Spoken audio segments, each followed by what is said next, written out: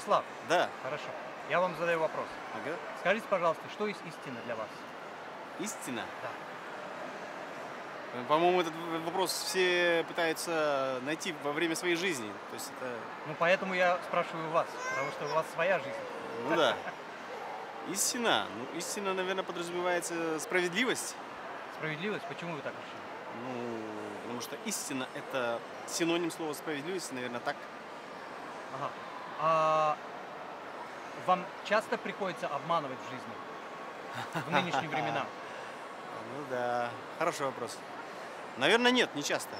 Вот вы проживали в Казахстане и уехали в Германию, Да? например, да? Да. Где истиннее? Истиннее. Да. Ну, Ме- Между людьми. так сказать сложно вообще, если честно. Как вы? Вот Видимо, есть э, своя истина здесь, э, своя истина там. Она чем-то отличается? А, да, тем, что здесь своя, там своя. В смысле, это как цвета? Да, это как цвета. Да.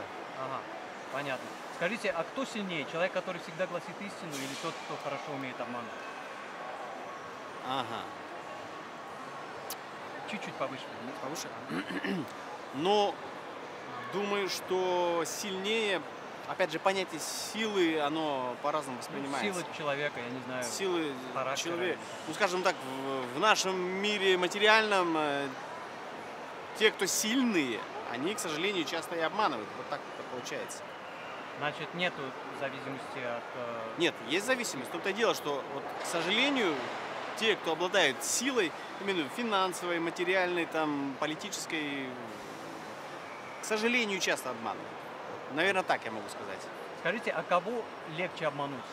Мужской пол или женский? Вам. Мне Да. кому, кого легче обмануть? Я не, не думал и не пытался сравнивать.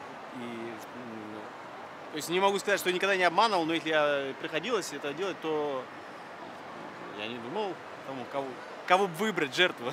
Ну, не как, ну, как бы, может быть, из-за вашего опыта, там, определенного э, столько Нет, лет. не могу сказать. Ну, наверное, э, принято считать, что женщины более глупее, наверное, поэтому их легче обмануть. Наверное, так.